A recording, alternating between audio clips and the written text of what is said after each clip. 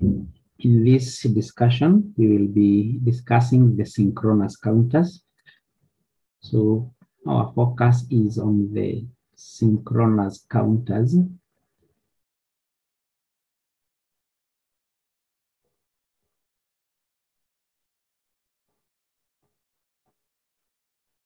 And basically synchronous counters are counters where all the flip-flops are clocked at the same time using the same clock input signal. So if you have a series of flip-flops forming the counter, at least assuming, for example, we have three flip-flops forming our counter,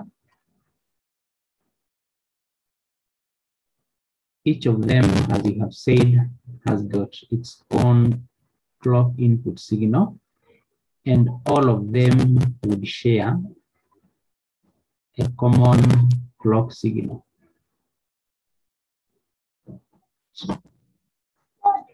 would share a common clock input signal so that this is our clock input and all our flip-flops A, B, and C will be clocked at the same time using the same clock input signal, and this forms what we call the synchronous counters.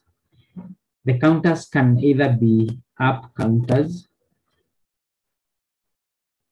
so we can then have them as up counters, or we can have them as down counters. A good example of an up counter, a counter that counts from zero to nine upwards, and a down counter, a counter that counts from nine to zero, so counts downwards from nine to zero and so on.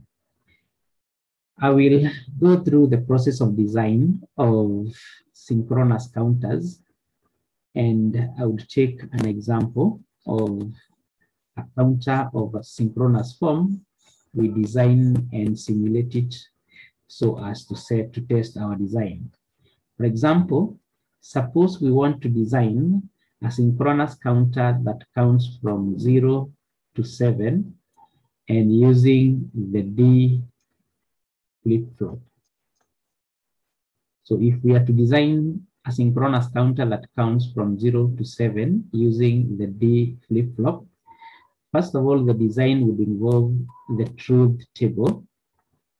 So we'll need a truth table, which is a table of what takes place in the count.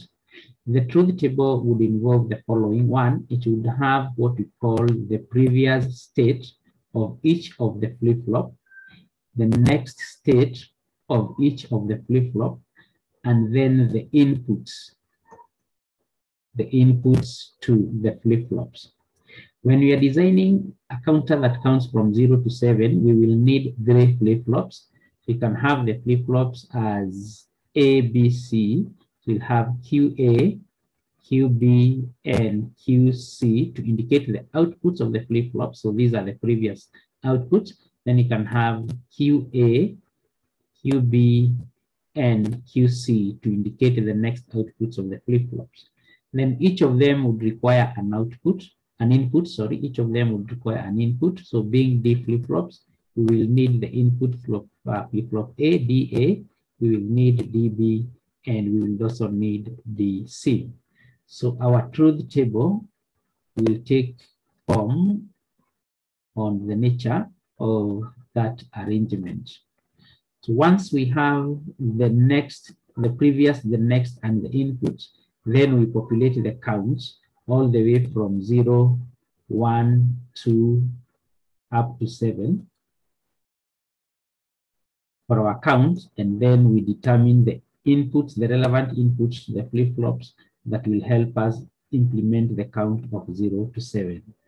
To determine the inputs to the flip-flops, we'll be using the state flow diagram of the relevant flip-flop. In this case, we require the state, the state flow diagram of the D flip-flop.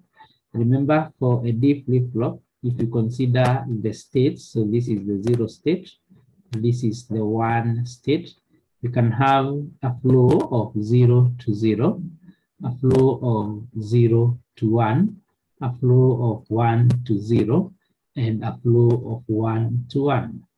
For a zero to zero in a D flip-flop, the input D should be zero.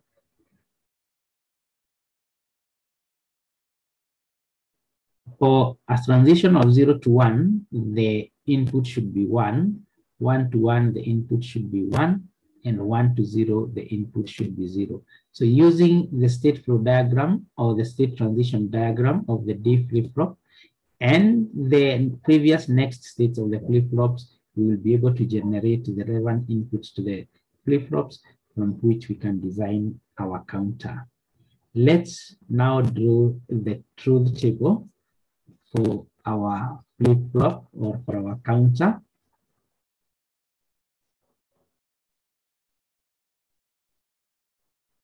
So this will be our truth table.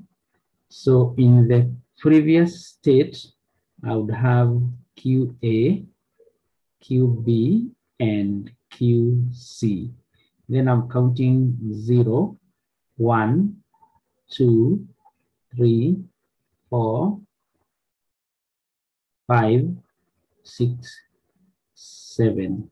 So I write them in binary form as 0, 0, 0. So this will be 0, 0, 0, 1, 1, 1, 1, then 0, 1, 1, 0, 0, 1, 1, and then 0, 1, 0, 1, 0, 1, 0, 1. So these are the previous states of our flip-flops. Next, we need the next states. Again, we need the flip-flops QA output, QB, and QC. So once we count to zero, the next count will be one, which is zero, zero, one. So we write it in binary form as zero, zero, one, then zero, one, zero, zero, one, one, then one, zero, zero, one, zero, one, one, one, zero, one, one, one, and then back to zero. So zero, zero, zero. Next, we need the inputs to the flip-flops. So these are the inputs. So we need DA, we need DB and DC. And we use the state transition diagram of the D flip-flop. So we said in the state transition diagram of the D flip-flop, this is the transitions. Sorry. So this is the transitions. So a transition of zero to zero, zero to one, one to one, and one to zero.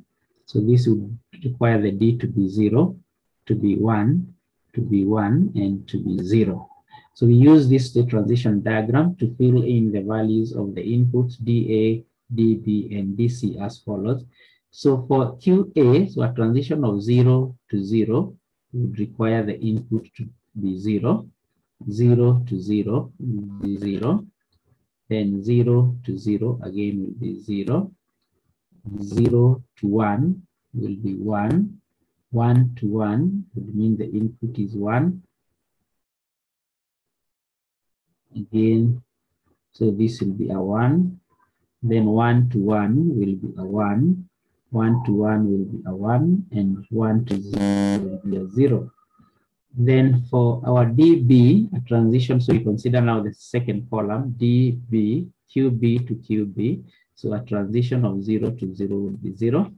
Zero to one will give us one. One to one, one. One to zero, zero. Zero to zero, zero. Zero to one, one. One to one, one. And finally one to zero, zero. Then lastly, we have zero to one, one. 1 to 0, 0, 0 to 1, 1, 1 to 0, 0, then 1, 0, one, and then zero. So those are the, uh, the inputs to our flip-flops.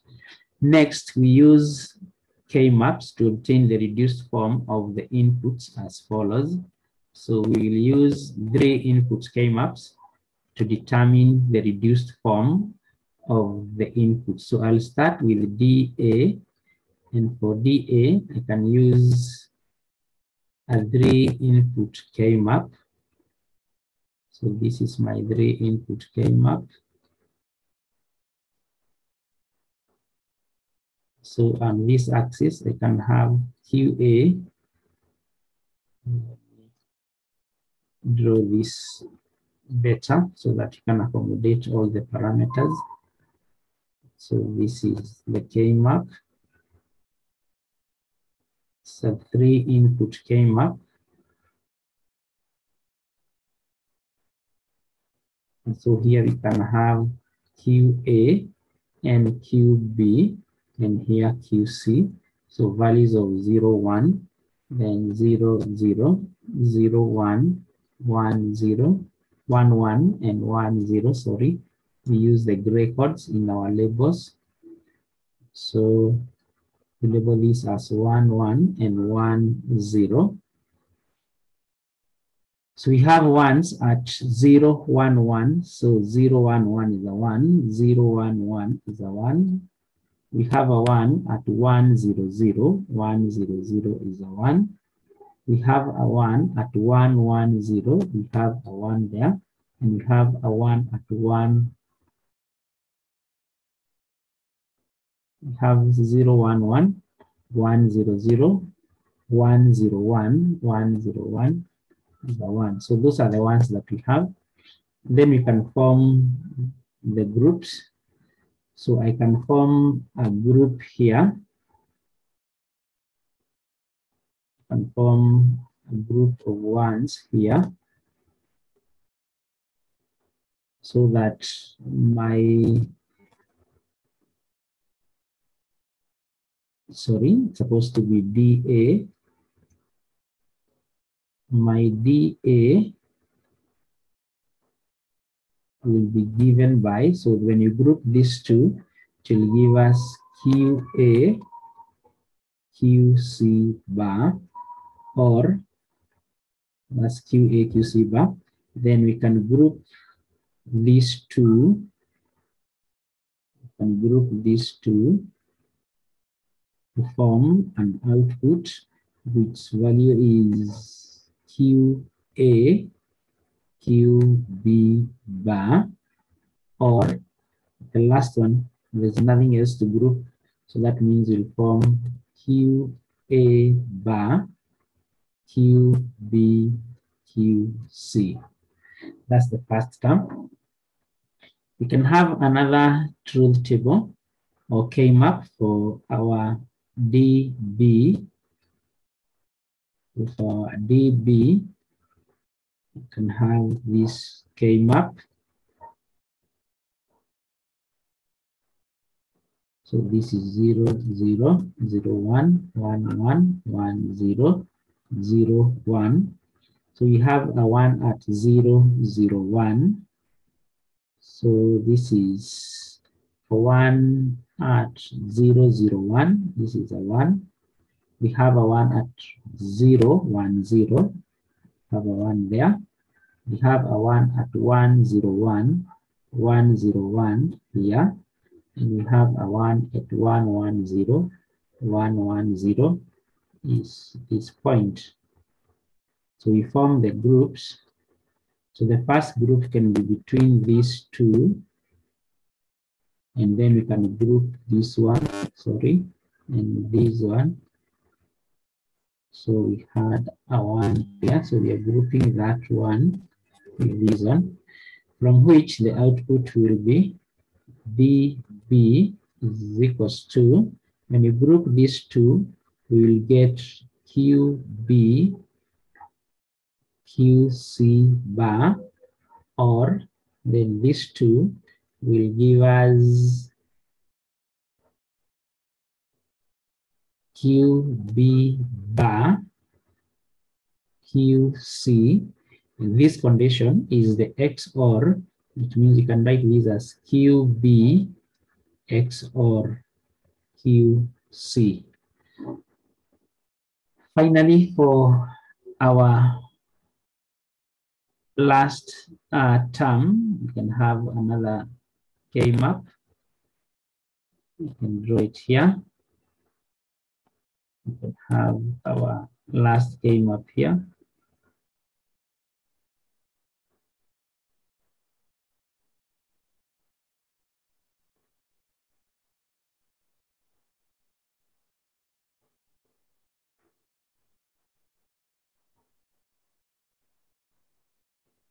This is our K-map. zero zero zero one one one one zero.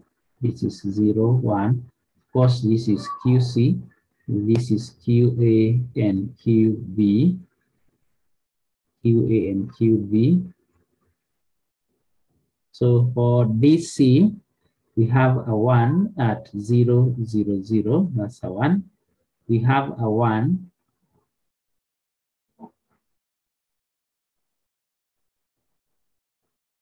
we have this one at 0, 1, 0, 0, 1, 0.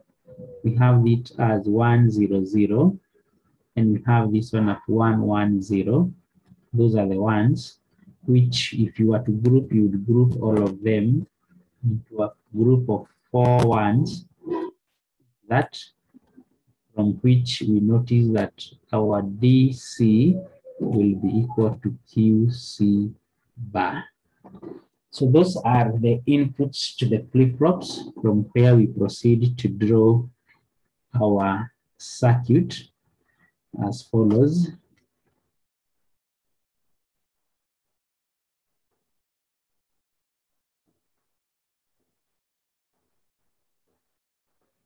So we'll need three flip-flops of D type. So these are the three flip-flops. Okay, sorry for that. These are the three flip-flops. I need to drop them down a little bit. So these are the flip-flops.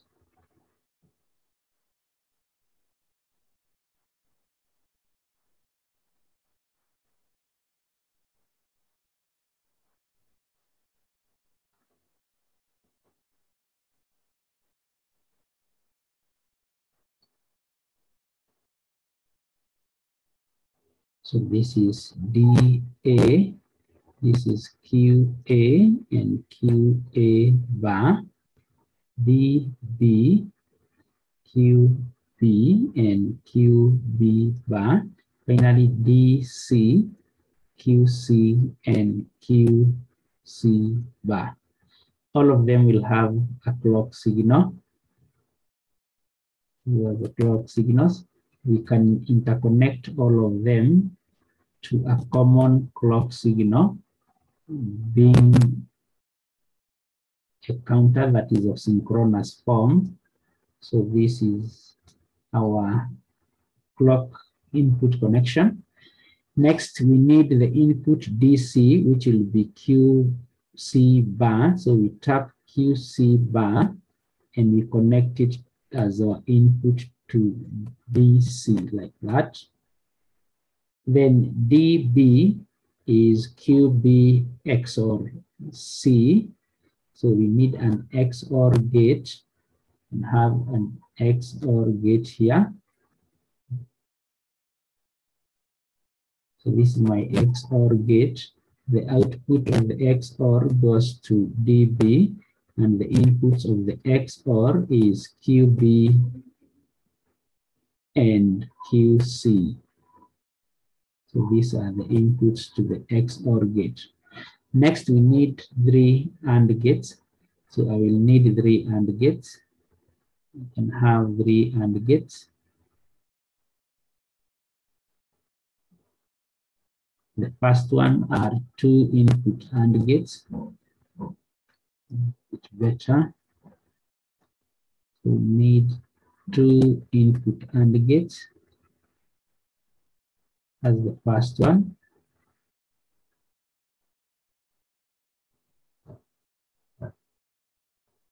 Second one.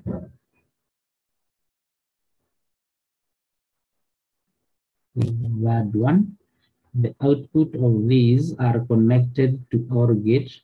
So you can have an OR gate that takes in the outputs of those three, and then the input gets to DA. The input to the first one is QA, QC bar.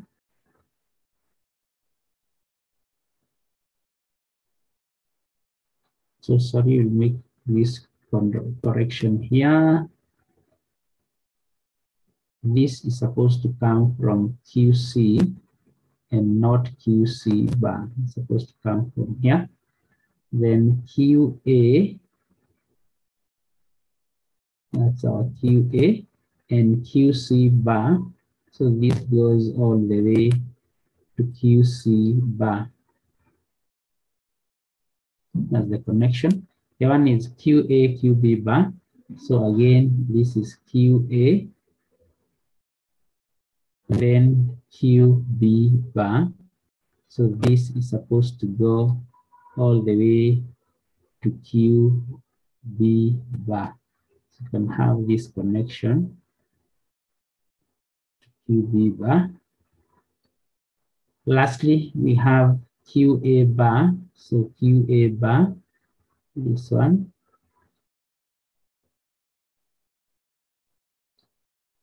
So this output, then that goes to QB. So I take this to QB.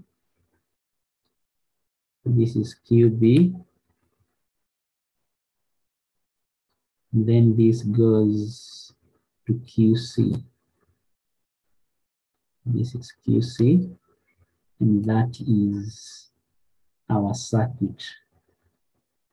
So this one will be our clock input, which is common to all of them. And that would be our synchronous counter that counts from zero to seven. Let's attempt to simulate these in Proteus. You can simulate these in Proteus as follows. We'll need three flip-flops of D type. So flip-flops, D flip-flops.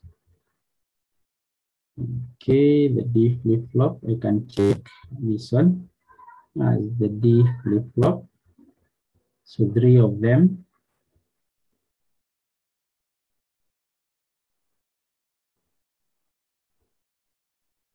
You can enlarge screen and position them skewed more towards the right, like that. So those are the flip-flops that we need. Next, we need to connect a clock signal to all of them. So a digital clock to all of them, the clock inputs. So the clock inputs, they share common clock input. Then the inputs to the flip-flops, so the first one is getting its input from the inverted output. So this one gets its input from D or QC bar. The other one requires an XOR gate. So we get a two input XOR gate, two input XOR. So this would serve us, place it here, and we can mirror this. So the inputs are from QB and QC. So I can tap this one, and I can tap C. Then the output goes to the input D. Next, we need some AND gates, two input AND gates, then type 7408 is a two input AND gate. Okay, this is a two input AND gate. We need two of them. Then we need a three input AND gate.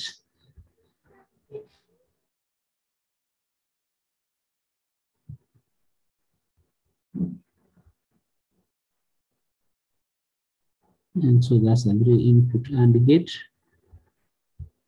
We can place it. Lastly, we need a three input OR gate.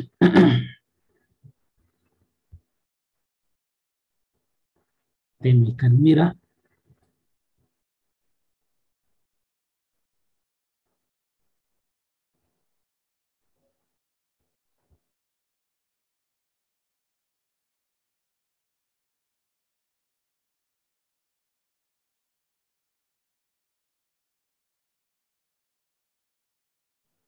So we mirror all of them.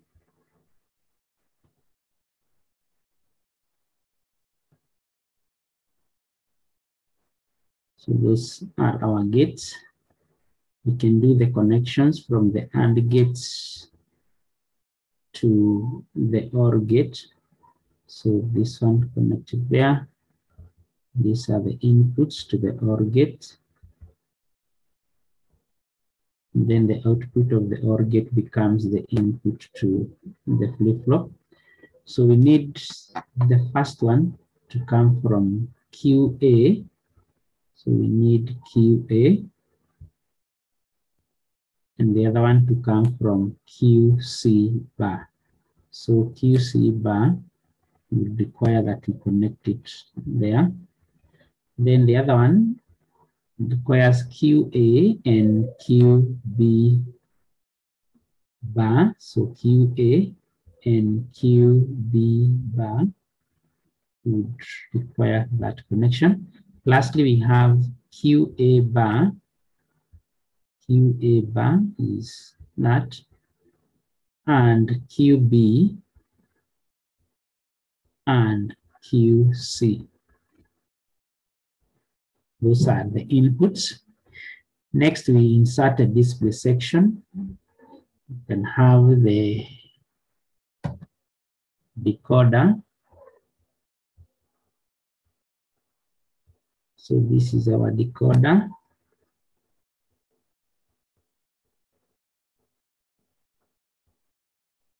And then the display section.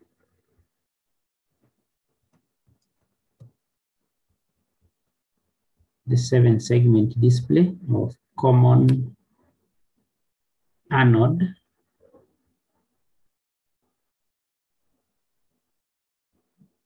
Have that.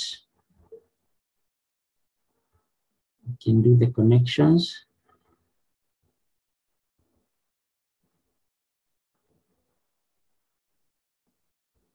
From the decoder to the display section. These are direct connections.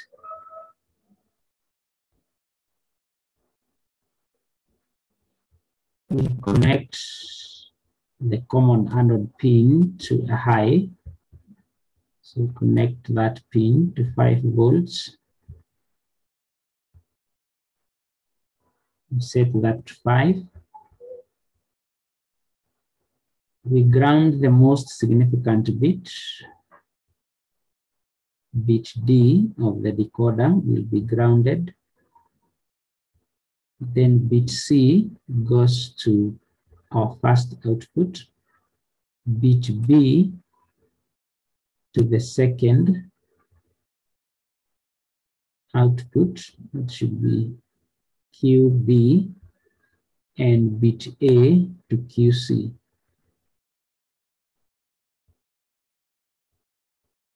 Okay, so those are our connections. A common clock signal. The X OR gate three AND gates and one OR gate. That is our circuit, which you can proceed to simulate. So you run the circuit, zero, one, two, three, four, five, six, seven, back to zero. And that is our that is the synchronous counter that comes from zero to seven using the D flip-flop. Thank you so much. Next time we will discuss the synchronous counter that is not of mod 2 power n. Thank you.